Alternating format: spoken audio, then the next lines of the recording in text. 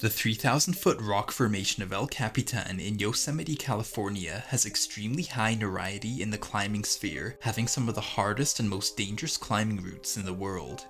Watching climbers like Alex Honnold making it up all the way without a rope, the question in all our minds is, what if he falls? Here are five climbers whose ascents of the formidable rock formation unfortunately ended badly. First, we have Tyler Gordon, a 22 year old University of Colorado graduate who on May 27, 2015 was climbing on the nose route. Tyler loved climbing and was said by his friends to have been very safe and thorough while scaling rock faces. At some point during his ascent of the nose, Tyler decided to retrieve some gear that he dropped, and to do so he would rappel down. However, it was believed that he forgot to clip his belay device to the rope or he fell before being able to attach himself. Tyler fell around 200 feet to a ledge below to his death after leaning back to prepare to rappel. His friends were dumbfounded as again he was known to be very safe while climbing. Tyler Gordon is remembered as being an intelligent and caring mentor for not just climbing but for approaching life itself, challenging one's ideas along the way. Next, we have climber Emily Harrington, who is a five-time US national champion, making first female ascents of several 514 graded routes over the years. Eventually, she set her sights on the Golden Gate route of El Capitan, a 41 pitch 513A, and after climbing the route over 6 days in 2015, Emily made it a goal to free climb the route in one single day, on November 24, 2019, while practicing the route with Alex Honnold, she slipped and fell sideways 50 feet, hitting her head on the rock. The two climbers had been simul climbing, which can result in falls that are far longer than usual. Emily needed rescuing and was taken to a hospital after a long wait dangling on the rock face with injuries. It almost took away her resolve, but she bandaged up and managed to fully send the Golden Gate route for a free climb in under 24 hours in November 2020. Now this next tragedy was just due to bad luck.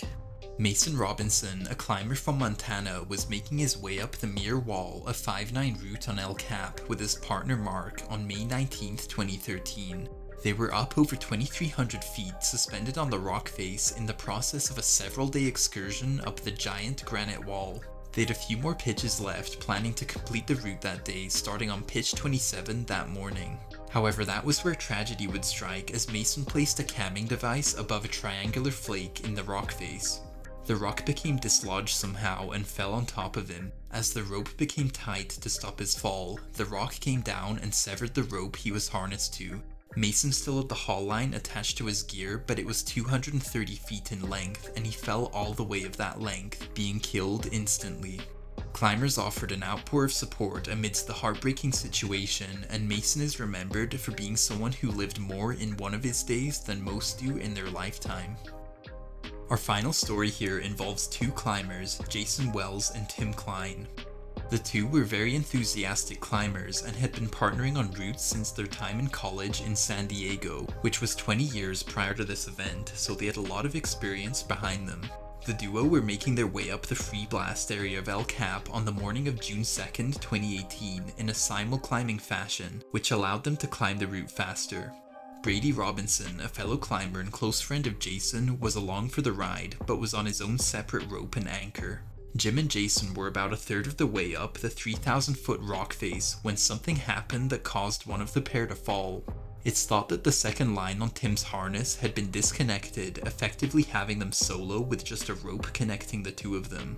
This meant that as one of them slipped, the other was pulled down with them. According to a witness account, Tim was heard yelling as both of them fell an initial distance, with the rope stopped by a boulder. A short moment later, the rope was severed, likely on the same boulder, which made Jason and Tim plunge 1,000 feet to the base of El Cap. Neither of them survived, despite swift calls to emergency services. Both were fathers and husbands, and our hearts go out to the families.